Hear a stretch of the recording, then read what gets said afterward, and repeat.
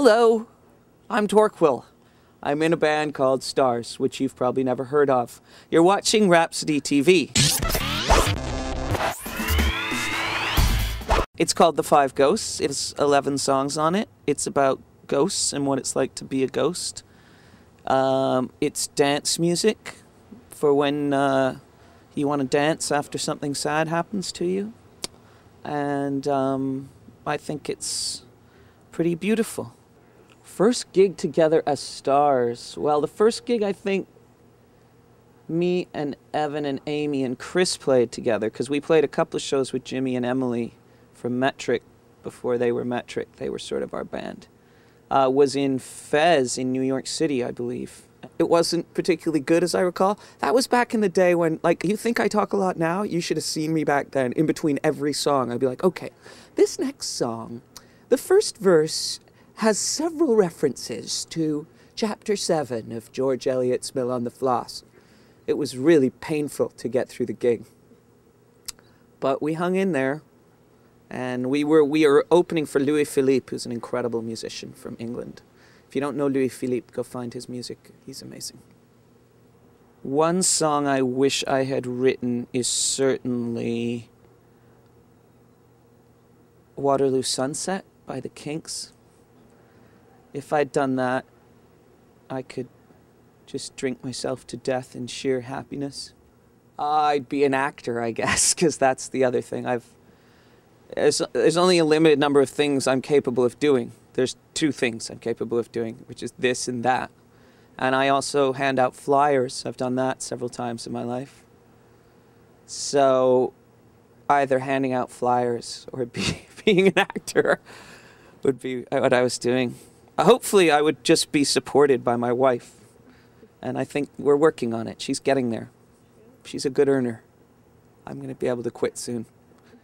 Hey guys, if I was to write a memoir about the band, what would the title be? It's not a question of Lancing. yep, it's not a question of Lancing. L A N C I N G.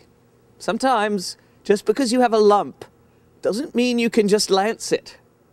Sometimes that lump is far more serious. Yes, it's not a question of lancing. Five young people's journey from Milan to Minsk. I think Tracey Ullman's cover of They Don't Know About Love, the Kirsty MacColl song. You know that song? They say I'm crazy, but I just don't care. And if I keep on talking, till I get nowhere, no, I don't. Um, that one comes to mind. What else comes to mind? Um, Careless Whisper. Uh, Heaven knows I'm miserable now. And then we just get into that period where the only thing I thought about or did was listen to the Smiths, and everything reminds me of them because that's all I did all day, every day for f- 10 years. so that was quite a time.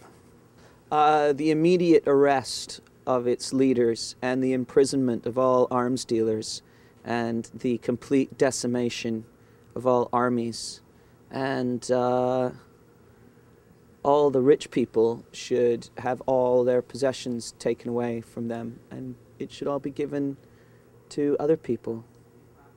That would make the world a better place. and if the rich people think it wouldn't make it better for them, they're dreaming, because that's why they're all stuffing Vicodin up their noses as fast as they can chew them, because they're stressed out. Give us your money, man. You got too much. It's you need what? 200 G's is sweet. After that, hand it over. Rover. Don't you think? Yeah. World socialism. That would make the world a better place. World government, world socialism, world pacifism, world vegetarianism, world peace, arrest the fat white men, including me.